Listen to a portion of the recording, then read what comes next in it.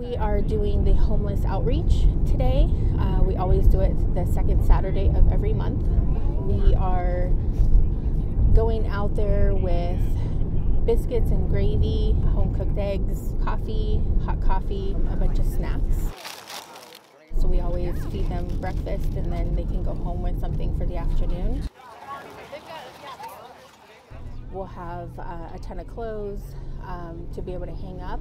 Uh, it is was put on our hearts to have hangers for them because um, we feel like you know it's a little better than digging through totes and going on the ground to dig through clothes to see what they wanted.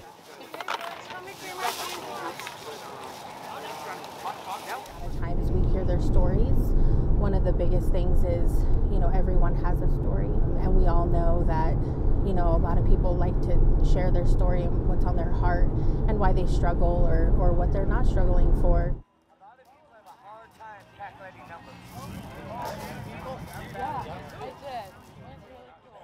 My name is Allen Trimble, and I come down here and serve with Cold Springs Valley Church.